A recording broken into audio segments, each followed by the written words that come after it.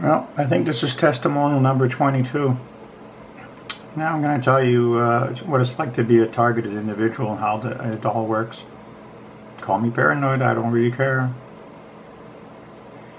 As you see in the title, uh, I was attacked at the UPS uh, warehouse in Dartmouth, Nova Scotia. It's a little bit of a long story here, complicated, but I'll explain to you. And I'll show you how Ed showed up there, Ed Schijns from PMV Mobility House the guy that's responsible for basically destroying my life, impoverishing me, and taking me for a lot of money, and it was all deliberate, all planned out. Um, when I was stuck at home without a wheelchair, uh, and, and, even if I had a wheel, I didn't have a wheelchair, I was shopping online. I was ordering some furniture and different things I needed. And I was having problems with UPS not uh, delivering the parcels to my home and they weren't dropping the, them off at the local UPS store, which is just down the street. So I was forced to uh, go down to the warehouse, which is in the other town over, which is in Dartmouth. And um, I thought they opened at 7, so I was there at 7 o'clock in the morning. And I parked in the only handicap parking spot they have. I'll, maybe I'll do a post about this article, put some pictures up showing you what uh, it looks like at the UPS uh, warehouse. Anyway, the UPS warehouse is not accessible at all. It doesn't have a ramp. It's got two steep sets of stairs. Um, I can walk short distances when there's no one around because it's not safe for me to walk and it's painful and I really have to concentrate on what I'm doing. I rarely do it. It's just too dangerous. But the two items that were coming from UPS were big boxes, but they were very lightweight. They were actually accessories for my car. And um, when I was sitting in the parking lot at 7 o'clock uh, in the morning, what do I, who would I see driving by right beside me really slowly? It was Ed Schijns in his van. And I can't figure out why on earth this guy would be there at 7 o'clock in the morning when he lives in Dartmouth, I mean Halifax, and he has a family and stuff like that. And he's never in a store anywhere else uh, until 9 o'clock in the morning. And I asked him about that later. I saw you there, and he wouldn't acknowledge that he was there, but I saw him. So I left and pulled out of the driveway parking lot because I was early to try to spot where he went, but he, what he took off. So I went back and, that, and I sat there for an hour. And then I walked into the UPS store, and the lady wasn't pleasant at all. And the longer I stand, the more pain I'm in. And the chairs they had there weren't facing the counter, and I couldn't sit in one. And she was delaying and delaying and delaying my order, and I wanted to ship something, a real small parcel, and she couldn't get it done just excuses. So um, finally, when she brought out my parcels, I asked her if she can. I told her I was disabled, and I asked her if she can bring them to my car. And these are really lightweight boxes, but they're big. And uh, she didn't have a good attitude at all. Didn't want to do it. And I just thought, well, there's a whole warehouse here full of workers, and they, she can't call someone in there to just to bring them out to my car, and she didn't want to do that. So she's got a really bad attitude. She heads outside, and I'm walking really, really slow. To them, it probably looked like I'm walking really casually and relaxed, but I have to walk really slow and relaxed, otherwise the pain is unbearable, and it's too dangerous. It's very difficult for me to balance myself, so I walk very slowly. And I rarely do this because it's just too much pain, and then my spine does bleed where it's broken. So I'm heading towards my car, and to my left, up on top of the hill, there's another door there that leads to the warehouse where the workers hang around outside, and there was some workers hanging around there. And the lady uh, brings the boxes down. I, I asked, she, I told her I'm parked in the handicap parking space, and she sees my looking, cool-looking car, and didn't like didn't like what, that they was so nice. But anyway, she doesn't bring the boxes to my car. She puts them way down on, in another parking spot in the parking lot on the ground. And I, I asked her, can you please put them in my car for me because I can't carry those boxes. With my prosthesis and my problems lifting things and walking, I couldn't do it. And she didn't want to do it. And I kept asking her, I kept telling her, I'm disabled, I can't carry them, please don't leave my stuff on the ground in the parking lot. And she, that's what she wanted to do. So I kept asking, and uh, I wasn't very pleased what was going on, and I couldn't, I just couldn't believe her attitude.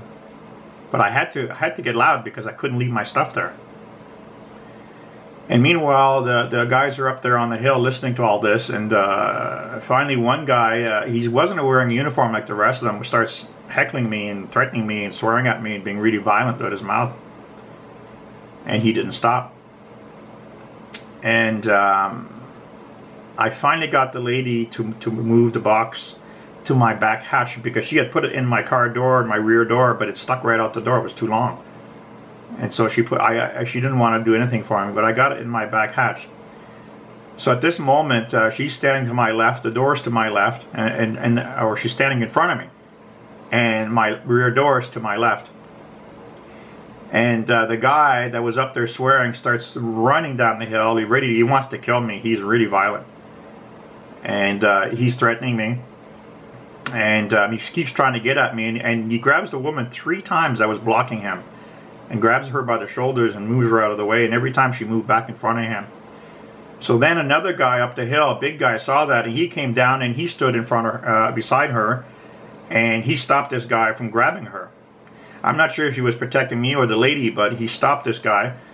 And that when the big guy was standing there, bought me barely enough time to close the door. Uh, my my door beside was beside me, because that was stopping me from getting in my car. so when that door closed, I ran around to the other side of my car, I got in my car, and I locked the door. And that crazy guy comes running around and he's literally smacking his forehead into the glass of my driver's door.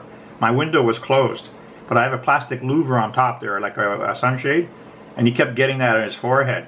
And I mean, I'm sitting there looking at an absolute maniac just going out of his mind, smashing his forehead, his face into my door, into my window. And I knew he couldn't break through because safety glass is pretty tough. And he's still standing there. So finally, I start up my car and I put it in reverse and I turned my wheel to, to the right. So if he had uh, broken through the glass, I would have run him over. I had to defend myself.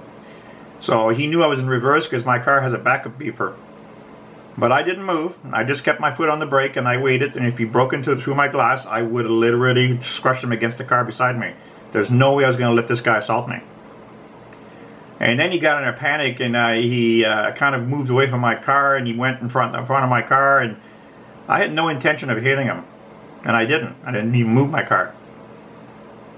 And then I spent the next three hours uh, talking to police and talking to the manager of that place. And he says, we've got zero tolerance here for violence on the job.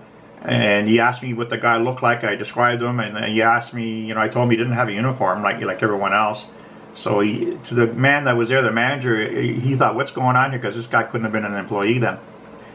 And the cops come over, and after talking to him and describing how violent this guy was and how threatening he was, uh, the police didn't do anything about it, like they always do. Because when operatives are attacking somebody or on a, on a job, like, like Ed, like when I called the RCMP about Ed doing these crimes, and every time I, I do try to talk, get for help from the police, I never get any. So this event was pretty bad. I talked to the manager and he assured me I could call him. He said, you won't have any more problems getting your deliveries. And he was really nice on the phone and then saying, I get another delivery and it was shipped to the warehouse again. Even though he told me it would never happen again. I called him back up. He didn't fix the problem. I called again. I finally got them to ship it to the to the store that's just down the street from me. It was only a small little parcel. But um, I'm putting this on the record because uh, this is what it's like to be a targeted individual. I've been through a lot of horrible things over, over the years, and, and maybe I'll, I'll remember them all and I'll do some more videos just for the record of what's been going on. Because what's happening to me uh, since 1984 in Toronto is not accidental. Bob Kaplan, Solicitor General of Canada, that I ran an election against, a federal election, these were his words, and they've never let off since. We are going to destroy you. We're going to make you so destitute that you have to resort to crime to survive. And when you do, we're going to put you in one of our prisons where we're going to have our fun with you. And if you think I'm delusional, go on my websites and go read my stories and go find out uh, what's really been going on in my life. But now, it's not good. I don't have enough money to pay my, my power bill and my internet. And I won't be able to drive or go anywhere soon. And there's no place around this neighborhood that I can drive my wheelchair to to get food and things. And you can't drive wheelchairs in the rain or in cold weather or in winter and you can't carry a whole lot of groceries on them. So shopping with my wheelchair in this neighborhood isn't going to happen. Uh, they deliberately removed uh, all the tie downs on all the new buses in Halifax to make sure I can't travel on buses. And they've done that for the last six years. so most of the buses don't have any uh, tie downs for wheelchairs, so I can't travel on public transit. Social Services recently, I fought with them. I wrote an appeal letter uh, that they were supposed to answer in 10 days and never did. But they're allowing uh, the transportation uh, uh, money that's supposed to be given to me on my budget. But it's supposed to be for a bus pass. which costs about 70 80 dollars whatever it is. And so what did they give me every month? 20 dollars. They said that's good for four appointments to a doctor. I can't i can't possibly go out and do shopping and do anything with with uh, four trips. No money. No not i'm doing okay for a little while. I'm pretty used to living in, in my apartment stuck here all winter so i stock up on food and i still have that you know that supply for a while but um, i'm gonna have a problem paying my bills pretty soon I put a, a, PayPal thing on my on my websites, and the very first PayPal that went through was basically uh, an operative or whoever, and I've never received another one since. So if you guys are trying to uh, send me a PayPal, let me know. Give me a message under my video here, and I'll know that, that it's being blocked, even if it's only a dollar, just so I know if it's working or not. Anyway, uh, thanks for viewing. Let's check out the links below this video. My name is Daniel J. Towsey uh, wheelchairrights.wordpress.com, thevisionaryfolkphotographer.com, atruthsoldier.com, canadiansituations.wordpress.com, and I have a few other sites that you need to check out. This is what it's like, a life of being an activist. An activist is a person that speaks truth, for truth is an action. If you don't act on it and speak it and, and seek it, then it doesn't exist and you're not an activist. Remember, Jesus was an activist. Thank you.